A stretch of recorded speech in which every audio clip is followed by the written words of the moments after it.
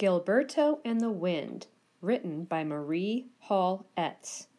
You can't really see the wind, can you? So I wonder how you can draw it. It looks like this illustrator, Marie, used chalk to imagine what the wind is doing on dark pages. This says, I am Gilberto, and this is the story of me and the wind. I hear wind whispering at the door. You, he whispers, you. So I get my balloon and run out to play. At first, wind is gentle and just floats my balloon around in the air. But then, with a jerk, he grabs it away and carries it up to the top of a tree. Wind, oh wind, I say, blow it back to me, please. But he won't. He just laughs and whispers, You. Some people hang their clothes outside on a clothesline to dry. I wonder what Wind is going to do. Wind loves to play with the wash on the line. He blows the pillow slips into balloons and shakes the sheets and twists the apron strings. And he pulls out all the clothespins he can. Then he tries on the clothes, though he knows they're too small.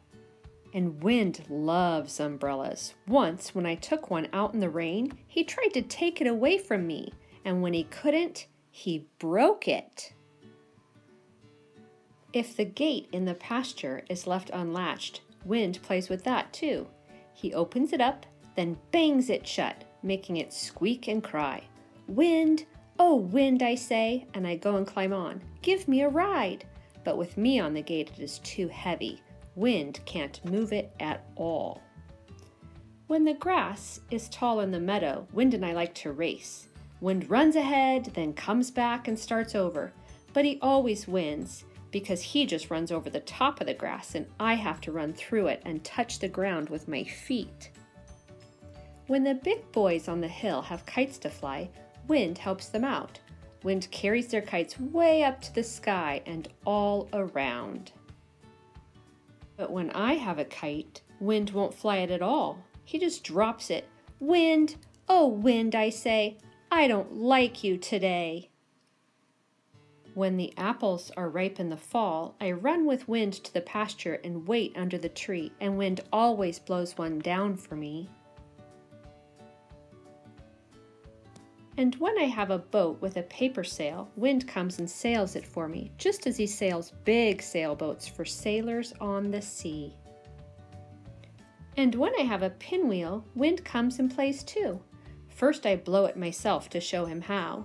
Then I hold it out or hold it up, and Wind blows it for me. And when he blows it, he turns it so fast that it whistles and sings, and all I can see is a blur. It's kind of like the flower pinwheels we have in front of school. Remember how much they would spin when it was windy? Wind likes my soap bubbles best of all.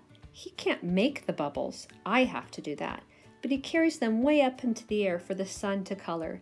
Then he blows some back and makes me laugh when they burst in my eyes or on the back of my hand. When the leaves have fallen off the trees, I like to sweep them into a pile. But then Wind comes along, and just to show that he can sweep without a broom, Wind scatters the leaves all about again and he blows the dirt in my face. Sometimes Wind is so strong, he starts breaking the trees and knocking down fences. Then I'm afraid. I run in the house and lock the door. And when Wind comes howling after me and tries to squeeze in through the keyhole, I tell him, No! But then comes a day when Wind is all tired out.